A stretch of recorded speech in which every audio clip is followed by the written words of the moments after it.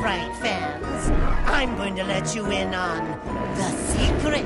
I've got the DVD to die for.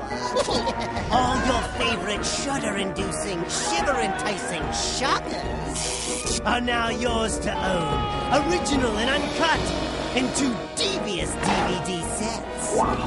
I know I'm your favorite Hollywood actor, but I'm not the only one that's burning up the screen.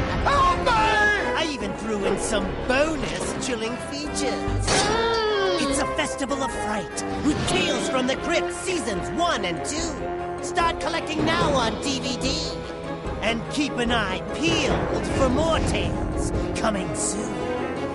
See you next time, boils and ghouls.